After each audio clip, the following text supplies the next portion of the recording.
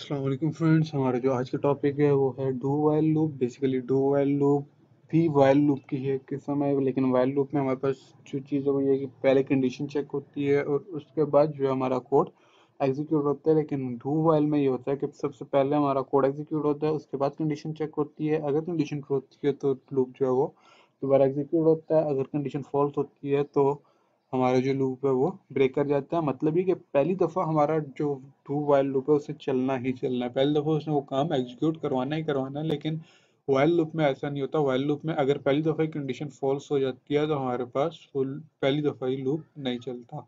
तो do while loop भी basically while loop की तरह ही काम करता है, और इसके सिंटेक्स में और वाइल लूप में थोड़ा सा डिफरेंस है। डू वाइल में आपके पास जो सिंटेक्स है सबसे पहले आप डू का कीवर्ड यूज़ करते हैं, और उसके बाद आप ये करली ब्रैकेट चूज़ करते हैं। करली ब्रैकेट चूज़ करने के बाद आप वाइल का कीवर्ड यूज़ करते हैं पैरेंथेसिस पैरेंथेसिस के अंदर आप कंडीशन यूज़ करते हैं। और कंडीशन के बाद यहाँ जो चीज़ आपने माइंड में रखनी है वो ये होती है कि आपने इसके बाद सेमी कॉलन ज़रूर लगाना होता है। वाइल डू वाइल में आपके पास वाइल के बाद सेमी कॉलन आता है, जबकि वाइल में आपके पास सेमी कॉलन नहीं आता।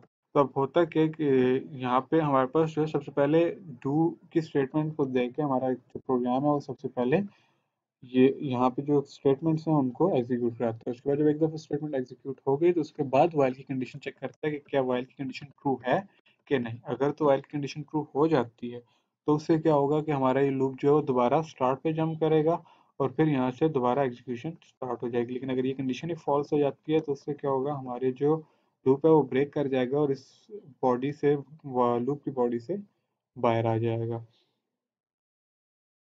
डू में जो हम लोग एग्जांपल कर रहे हैं, वो भी वही बिल्कुल सेम है, जैसे हम लोगों ने वाइल लूप में की थी। वाइल लूप में हम लोगों ने क्या किया था कि हम लोगों ने एक टेबल प्रिंट कराया था और डू वाइल को भी यूज़ करते हुए हम लोग एक टेबल प्रिंट करवाएँगे। तो उसके लिए हमें अगेन सबसे पहले जो चीज़ चाहिए होगी वो होगा इंट ए ठीक है ए को हम लोग आसान कर देते हैं वन और दूसरी जो चीज़ हमें चाहिए होगी वो टेबल, जिसका टेबल हम लोगों ने प्रिंट करना तो हम लोग टेबल को कोई भी वैल्यू साइन कर देते हैं, जिसका हम लोगों ने टेबल बनाना होगा। और उसी तरह system dot out dot print line table में जो वैल्यू पड़ी होगी उसको मल्टीप्लाई करना है ए के साथ और ए पर टेबल को जो है वो आप लोगों ने एग्जीक्यूट करना है और इसमें ए में इंक्रीमेंट करते जाना है। अब यहाँ पे जो आपने कंडीशन देनी है वो क्या है? कितनी दफ़ा आपने टेबल को प्रिंट करवाना है?